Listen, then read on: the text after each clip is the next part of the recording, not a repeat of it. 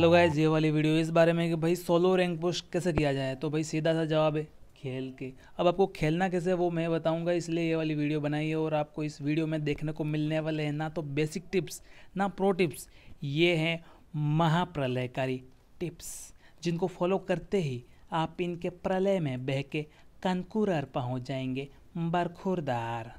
तो भाई लोग, वीडियो पूरा देखना, ज़रा भी स्किप मत करना। अगर एक भी पॉइंट तुमने मिस करा ना तो तुमको रैंक पुश में दिक्कत आने वाली है, गन्ना चूस के। तो भाई लोग, वीडियो शुरू करते हैं और बताते हैं कि भाई कॉन्करर का सीन क्या है मतलब कॉन्करर मिलेगा कैसे भाई सबसे पहले तो ये बात।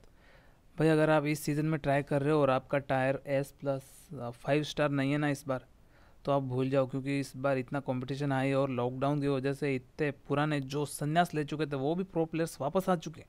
और कुछ नए नवजात पबजी प्लेयर्स आए हैं जिन्होंने पबजी डाउनलोड करने से पहले तो गोड निक्सोन की टिप्स एंड ट्रिक्स देख रखी है भाई। अब आपको करना क्या भाई नेक्स्ट सीज़न के स्टार्टिंग से पुश करना स्टार्ट कर देना, क्योंकि जैसे ही आप एस पे पहुंचोगे, यानी पहले 500 बंदे जो एस पे पहुँचेंगे, उनको अगले दिन साढ़े पाँच बजे, सुबह साढ़े पाँच बजे कौन कर मिल जाएगा गन्ना चूस के। अब उसके बाद की बात करें, अगर बहुत सारे बंदे पहुँच गए, कौन कर फिर आप पोस्ट कर रहे हो ना तो फिर आपको रैंक पुश करनी पड़ेगी और आपकी रैंक लानी पड़ेगी पाँच सौ के अंदर। फिर आपको मिलेगा कौन कर तो भाई लोग, वीडियो का असली मैटर शुरू करते हैं और आपको बताते हैं सोलो रैंक पुश की कुछ ऐसी टिप्स जो डेफिनेटली आपको रैंक पुश में हेल्प करने वाली है और ये सारी टिप्स मैंने खुद भी फॉलो की हैं, तभी आपको बता रहा हूँ। तो बढ़ते हैं। सबसे पहले पॉइंट नंबर वन की तरफ़, इसमें आपको क्या करना है? सबसे पहले मैच शुरू करने से पहले आपको अपनी लॉबी में आके हेलमेट बैग के स्किन डिज़ाइन कलर वलर जो भी है वो हटा लेना है। क्योंकि मुझे मालूम है, सांप बनना तो हमारी फितरत में।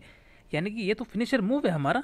और अगर किसी बंदे ने आपको रंगीले सांप के रूप में स्पॉट कर लिया, जिसकी पीठ पे एयरफिल टावर जैसा कुबड़ निकला हुआ है तो तुरंत ही धर दबोच लिए जाओगे गन्ना चूस के। तो अब बात करते हैं पॉइंट नंबर दो की, इसमें आपको करना ये है कि भाई गेम टाइमिंग फिक्स करना है। आपको आपको तीन मैच तीन मैच से ज़्यादा लगातार नहीं खेलना है। आप ज़्यादा खेलोगे तो गेम प्ले का जो है क्वालिटी बिगड़ेगा। वो कॉमर्स का लो है ना भाई quality inversely proportional to quantity आप ज़्यादा गेम खेलोगे तो आपको महसूस नहीं होगा, लेकिन आपका गेम प्ले का क्वालिटी कम होगा। मतलब आप अच्छे से नहीं खेल पाओगे और आपको महसूस ही नहीं होगा। इससे अच्छा आप गेप ले लो एक घंटे या दो घंटे का। अब एक और पॉइंट आता है कि भाई आपको अपने अंदर डेवलप करना होगा। पेशेंट नहीं मतलब पेशेंस रुको रुको, मुझे मालूम है तुम बहुत बड़े रश प्लेयर हो। तो देखो भाई, जैसे अदालत जज्बात पे नहीं चलती, सबूत मांगती है ना, वैसे ही रैंक पुश रश करने से नहीं पेशेंस मांगती है, वो भी गन्ना चूस के। अब तुम्हें रश करना ही है ना, तुम्हें दे रहे ना मौका, तुम डायमंड वन टायर तक इतना रश करो ना, बंदों को घुस घुस के मारो, इतने बंदे मारो कि तुम्हारा केडी आया हो जाए। अब उसके बाद जैसे ही तुम डायमंड वन टायर पे आते हो तो भाई तुम्हें रश नहीं करना है, तुम्हें बकचोदी नहीं करनी है, तुम्हें जाना है कॉन्करर तो तुम्हें भाई ऐसे रश नहीं करना है छोटे छोटे नुबड़े लोग रश करेंगे। क्यों? क्योंकि उनके पास खोने के लिए कुछ भी नहीं है, वो नुबड़े हैं भाई गोल्ड पे हैं वो। अब तुम्हें सारी टिप्स फॉलो करनी है जो मैं बता रहा हूँ भाई। क्योंकि तुम्हें माइनस नहीं करवाना है, तुम्हें कौन कर जाना है। अब नेक्स्ट पॉइंट यह था कि भाई आपको लैंडिंग कहाँ करनी है। मैंने ये वीडियो बनाने से पहले यूट्यूब किया कि भाई solo tips and tricks for खनकुरर तो दस में से नौ वीडियोस का यही पहला पॉइंट आता है कि भाई प्ले सेफ़ सेफ़ खेलो, आपको कंकर मिल जाएगा। लेकिन मैं कहूँगा कि भाई आपको सेफ़ नहीं खेलना है। आपको सेफ़ रहना है। आप लैंडिंग करते ही आपको अंडरग्राउंड हो जाना है। अब अंडरग्राउंड होने से ये मतलब नहीं कि तुम शेल्टर में जाके छुप जाओ, वो भी तो अंडर द ग्राउंड है।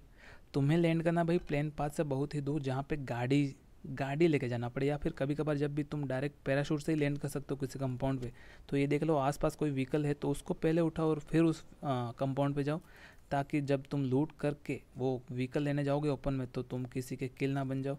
और लूट में तुमको ये ध्यान रखना है भाई हिल ज़्यादा उठाओ, क्योंकि तुम्हें टॉप तीस बंदों तक अंडरग्राउंड रहना है, क्योंकि तुम्हारा ज़्यादा माइनस नहीं होना चाहिए, तुम्हें कौन करो और पुश करो तुम नुबड़ों के हाथों नहीं बनने चाहिए और अगर इस बीच कोई बोट आ जाता है तो उसको अपने अल्ट्रा सुपर फास्ट रिफ्लेक्स से तुरंत मौके पे ही ओपन में मृत्युदंड नहीं देना, उसको घर के अंदर कवर में बुलाना है ताकि उसको लूट सको। अगर तुम उसको ओपन में ही मार दोगे और ज़ाहिर सी बात है मारा है तो लूटोगे, और लूटोगे तो तुम फंसोगे। और अब तुमको तब तक लूट करते रहना है जब तक तुम्हारे पास एटलीस्ट सेकंड लेवल के हेलमेट वेस्ट ना हो जाए और टॉप तीस मतलब तीस बंदे अलाइव रह जाए, उसके बाद ही निकलना। और जहाँ पे भी जाना है तुमको गाड़ी में जाना, तुम वीआईपी लोग हो, ऐसे चलोगे नहीं तुम, गाड़ी में जाओगे, क्या? अब टॉप तीस में आने के बाद आप दो तरीके से खेल सकते हो, एक तो भाई आप जोन जब भी नया जोन बने, उसके सेंटर में कंपाउंड होल्ड करो और ये चेक कर लो भाई, पहले कोई बंदा आया हुआ तो नहीं, बिल्कुल चेक कर लो आसपास, घास वास सब देख लो भाई। और दूसरा तरीका ये कि भाई आप जोन के एज पर रहो व्हीकल के साथ। अब जब आप कंपाउंड होल्ड कर रहे हो भाई जोन के सेंटर में तब बंदे कैसे मारने वो तो आप खुद देख लेना क्योंकि पहले से स्क्रिप्टेड तो है नहीं, लेकिन आप ये गलती मत करना कि भाई आप ऐसे खिड़कियों में ताका जाके कर रहे हो स्कोपिन लगा के देखे जा रहे हो भाई दूरबीन की तरह। ऐसा नहीं करना है आपको। क्योंकि आप जोन के सेंटर में हो तो ऑब्वियसली बंदों की नज़र आप पे होगी ही। तो आपको करना क्या भाई, आपको टीपी भी से देखना है। कोई बंदा स्पॉट होता है तभी मारना है, वरना नहीं मारना क्योंकि कभी कभी तो कोई बंदा स्पॉट हो भी जाता है और वो आपके निशाने पे है। लेकिन आप भी किसी और के निशाने पे हो तो ऐसी सिचुएशन में उस बंदे का किल आपको सेक्रीफाइस करना पड़ेगा। क्योंकि आपको चिकन डिनर चाहिए। उस बंदे के किल से आपको ज़्यादा फ़ायदा नहीं होगा। आपको चिकन डिनर से फ़ायदा होगा। क्या? इसलिए कूटनीति, राजनीति और पता नहीं सब नीतियों से काम लेना पड़ेगा आपको।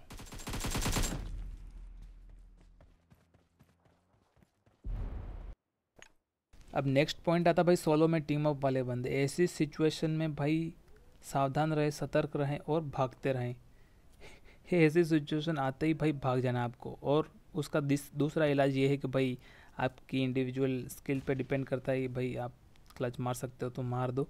अब नेक्स्ट पॉइंट में बात करते हैं, भाई, अगर एंड जोन ओपन में बन जाता है तो भाई, क्या होगा? ऐसे समय में, भाई, किसी भी टिप्स एंड ट्रिक्स पे डिपेंडेंट नहीं रहना है आपको। ऐसे समय में आपको बचाने वाला है आपका अपना दिमाग, आपके अपने डिसीज़न ये सीज़न ट्वेल्व चल रहा है, भाई, सबको गाड़ी का कवर बनाना स्मोक ग्रेनेड का यूज़ सबको आता है। सीज़न टू थ्री थोड़ी ना चल रहा भाई, नुबड़ों की तरह हवा में गोले चला रहे होंगे सभी। सोलो में कभी कभी एंड जोन में इतने ज़्यादा बंदे बचते हैं ना भाई डिवाइस के साथ साथ दिमाग भी काम नहीं करता है तो आपको अपने दिमाग से काम लेना पड़ेगा भाई, बहुत ज़्यादा, क्योंकि उस बंदे को मारना है कि नहीं मारना, उसको मारा तो कोई और मारेगा, बहुत ही कैलकुलेटेड रिस्क लेने पड़ते हैं यहाँ पे। तब जाके चिकन होता है, और चिकन यानी कि ज़्यादा प्लस आपको चिकन लेने से मतलब है भाई, पूरे मैच में। और कभी कभी लास्ट में एंड जोन में एक बंदा बचता है ना तो भाई उसको नुबड़ा नहीं समझने का, उसको भाई अच्छे एनमी के रूप में लेने का है और आराम से मारने का भाई। इसे ओपन में नहीं चले जाने का। अब एंड में मैं थोड़ा गन के बारे में बताता हूँ भाई, कौन सी गन बढ़िया रहेगी भाई? आप U M P Thompson M sixteen और एम के म्यूटेंट के अलावा कोई सी भी गन चला सकते हो और सबसे बढ़िया गन रहेगी M seven six two except drop guns और इसके अलावा सेकेंडरी वेपन में आप एस सिक्स एट सिक्स आपको चलाना आता है ना, उस गन का कोई जवाब नहीं है भाई। कोई भी गन उसको नहीं हरा सकती। बशर्त आपको अच्छा सा चलाना आना चाहिए। मैंने जिन बंदों को मारा, उनको मालूम है भाई कैसे मारा उस गन से मैंने।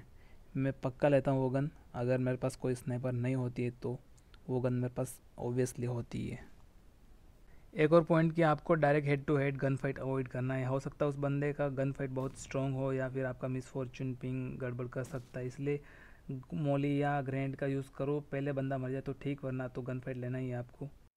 एक और पॉइंट कि अगर एंड जोन कंपाउंड्स में बन रहा है, बंदों की लोकेशन नहीं मालूम आपको तो भाई आप हिल बैटल कर सकते हो। आपको चिकन डिनर लेने से मतलब है, ना कि उन बंदों को मारने से।